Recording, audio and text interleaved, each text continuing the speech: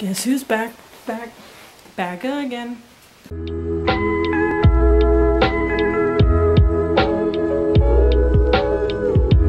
Hi. How's it going? Hey y'all, it's me Cecilia. Welcome back to my channel. Can that dog not? Really?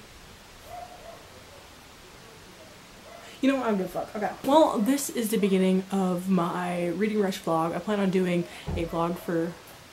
I plan on doing a vlog for days ones and twos, which is this vlog, and then the next vlog will be for day three and four. But I wanted to show you guys my TBR because I haven't. Did I say it was for the Reading Rush? I'm losing it already. By the way, it's Thursday. It's 8 p.m. I'm updating late. It's fine. I'll update. I'll tell you in, in a minute. But for the challenges, pretty much, I'm trying to remember what I put for these challenges. Oh, for the challenge of a book with the house on the cover, I'm reading Pet by Akwaeke Emezi. It is a science fiction book. Um, I know that our main character, um, she's just kind of like they're in like this version of our world where nothing bad happens. They got rid of all the bad shit, right? Um, but our main character, her mom paints, and one day she goes into the painting studio. Um, our main character, the little girl, and she sees a painting, and the painting comes to life, and it's a monster and wants to hurt everything, and she's like, "Bruh," and it's it's weird, but I enjoy it. um, next is a book I might be saying these in the wrong order, but like a book set somewhere that you would like to go. And I'm going to be reading Bloodwater Paints by Joy McCullough. This is a book, it is set, I don't know what year it is set in, but it's set in Italy. And we have our main character, her name is, this takes place in Rome in 1610. She's one of the most famous painters in Rome. And she gets raped and she basically has a choice of you can either hide this or you can tell everybody and make this a big thing. And she decides to make it a big thing. It's written in prose so i thought this would be easy to go through and i really want to visit italy. Of course not now but one day you know? Um a book that oh yeah I, put these in the wrong order it's fine. A book to read in the same room for the whole sitting. I'm reading the books of magic by neil gaiman. This is just a graphic novel I literally know nothing about it. I found it at the thrift store for a dollar, you know.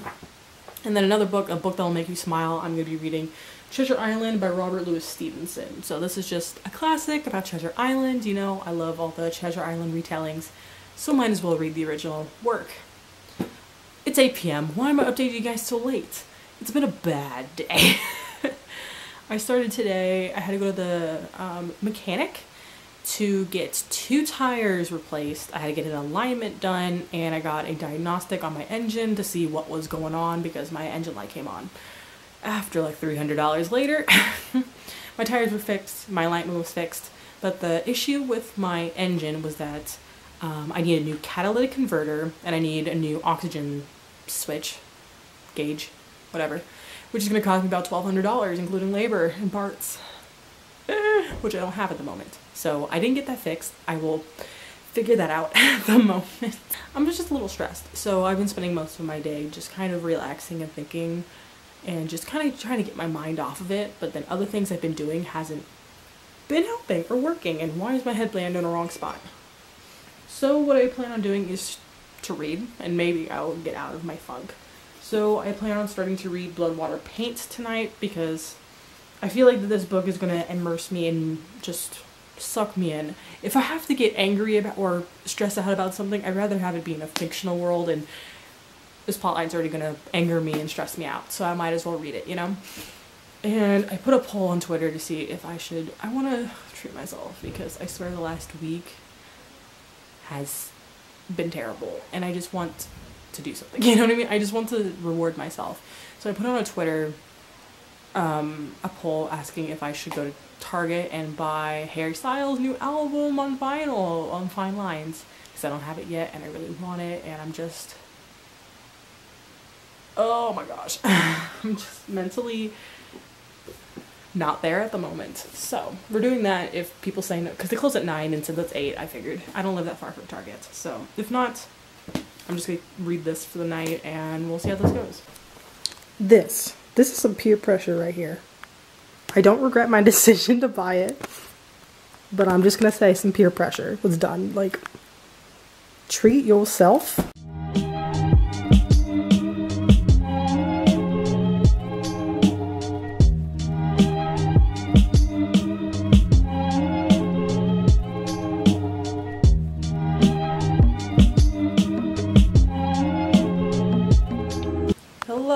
Gonna pretend I don't look like shit and pretend that the washing machine isn't going right now. But hi guys, it's Friday, it's 10 a.m. and I wanted to update you guys. So last night was a, was terrible. As you saw, I got my Harry Styles album, I put it in, and every single song was scratched except Cherry. So it's like unusable and which is annoying because I spent $35 on that album on that vinyl.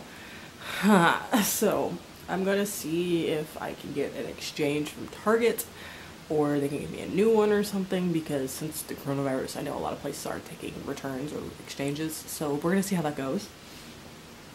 But yeah but I actually read last night I read about hundred pages was about hundred? It's about 90 pages of Bloodwater Paint and I am loving this. Like if if the first hundred pages are what the rest of the book is like, I could see this being a new favorite book. It's so good. It's like and it's more I guess complex than I thought it was. So you do see a lot of just um, regular parts of just like of prose, but then also you see these sections that are written like regular text. But these are basically stories that our main character's mother told her about different famous like women that are typically portrayed in art um, before she died. And a lot of these women really terrible things done to them but in art they are portrayed as very it's kind of like objects because you know a lot of male artists do that and of course our main character doesn't like that and stuff like that. So it's really interesting to hear their stories and go through it. And so I basically just I'm starting part three today. So my goal is to finish this book and to read the books of magic. So pretty much I'm reading a book a day. And since I didn't finish a book yesterday I gotta finish this one. But yeah, um, other things I gotta do today. I have to write an essay, the entire essay, but it's only two pages, so that's okay. I have to do another thing for school. I gotta wash my hair. We're gonna pretend like my hair doesn't look like shit right now. And those are the only things I physically have to do today. So, yeah, that's pretty much it. I'm gonna read for a bit because I don't want to do homework at the moment. I have all day to do it. So I'm gonna do that stuff later, but I'm gonna read and see if I can finish this all in one sitting. So yeah.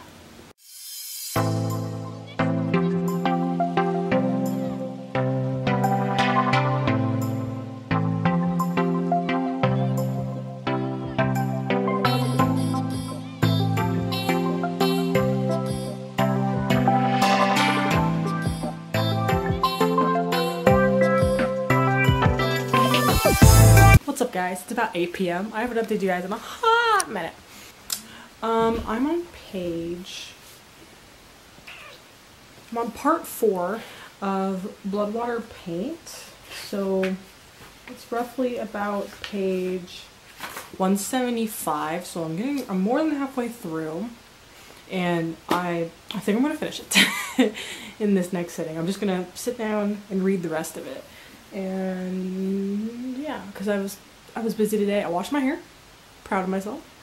I'm gonna read I'll update you guys when I'm done with the book. And yeah that's pretty much it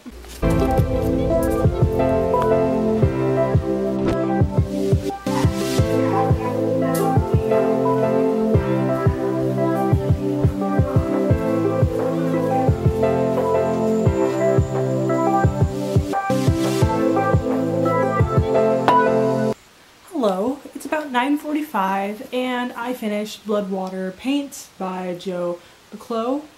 I'm thinking about giving this five stars.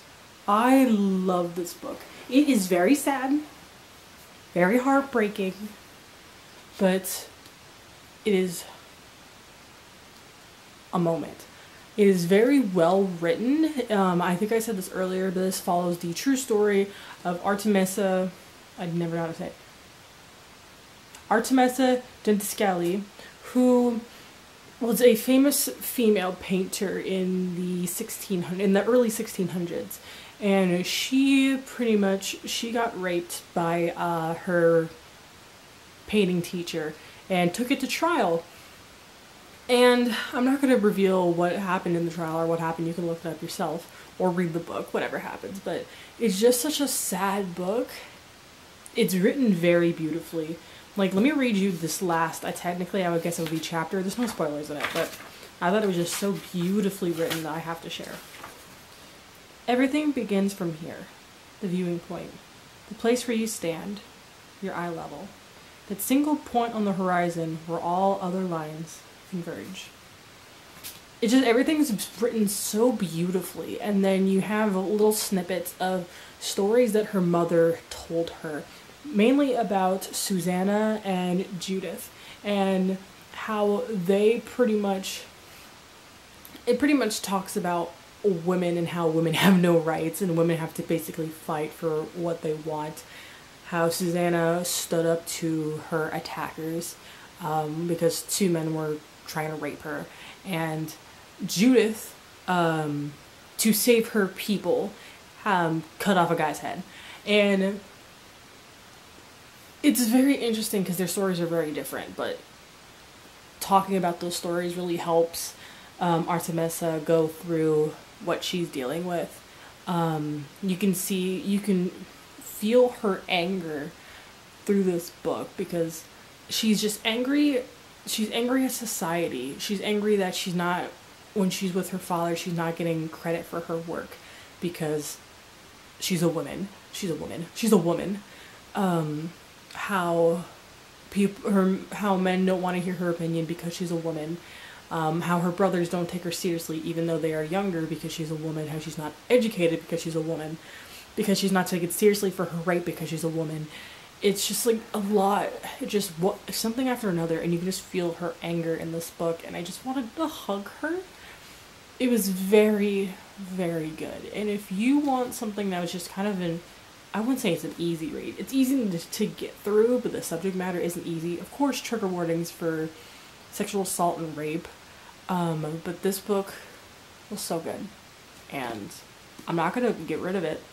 It's staying on my damn shelf, which shows you how good it is, which means it's definitely five star if I don't want to get rid of the book.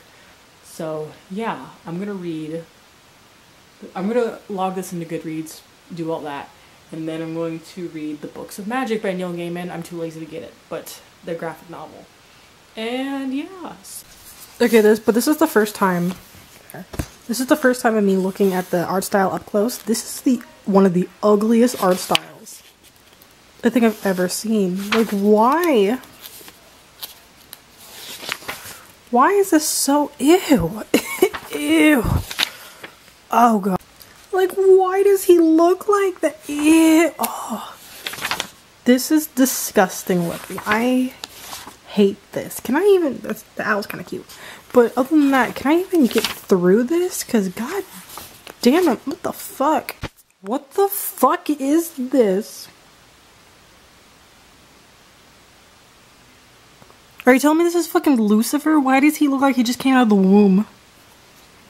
And what the fuck are this? Is this some Doctor Who angels in here? I don't like this. I don't like this. I'm not very far. I still have all this to do. So we got to this weird part. And this weird, I don't know what the fuck this is. But he says, I read you. The true Atlantis is inside you. Just as, uh, words. The true Atlantis is inside you. Just as, as it's inside all of us. The sunken land is lost beneath the true dark sea. Lost beneath the waves of wet black stories and myths that break upon the shores of our minds. Atlantis is the shadowland, the birthplace of civilization, the fair land in the west that is lost to us but remains forever true birthplace and true goal. What the fuck am I re- What the fuck? I am so close to the I can't I cannot. What the I, Oh my god, I don't what am I reading? I don't what the fuck is that?